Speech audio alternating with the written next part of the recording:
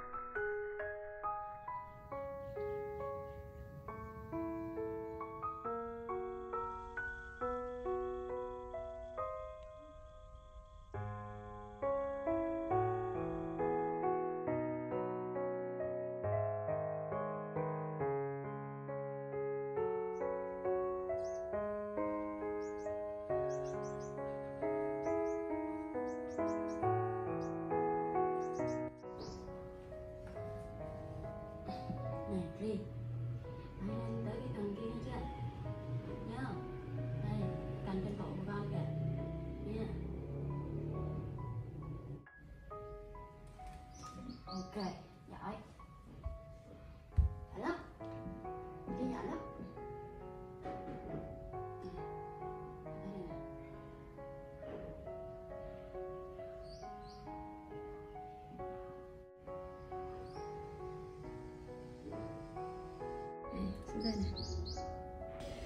nào? Vô chuẩn nghỉ đi để ta đi hái đậu.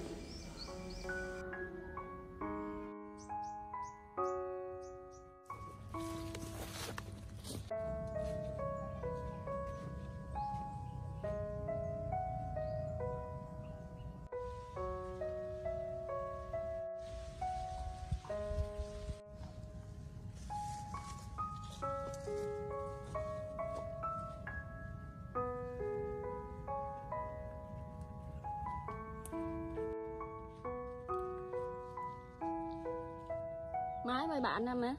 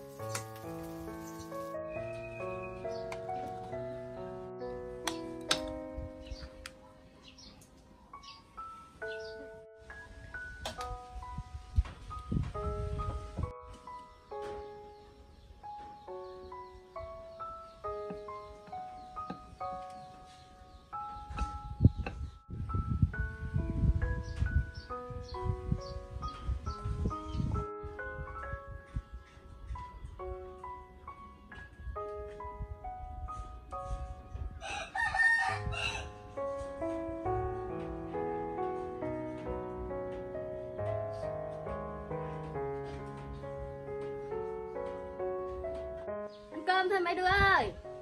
Có cơm đây nè có cơm chiên đây nè.